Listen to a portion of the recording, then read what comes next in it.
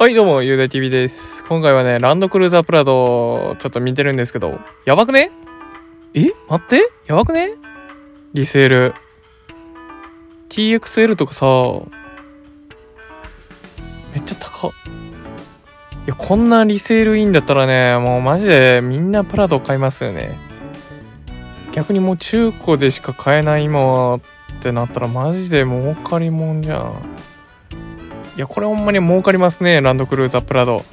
いや、まあ基本ね、トヨタの車買っといたら、ね、もう高く売れるんでね、損しないですよね、あんまり。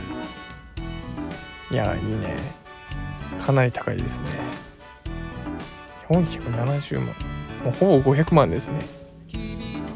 はあ、もうリセール100%、120%あるんじゃないでしょうかね。はい。いや、皆さん、ランドクルーザープラド好きですか？やっぱり好きな人多いんじゃないでしょうかね。うん、ご視聴ありがとうございます。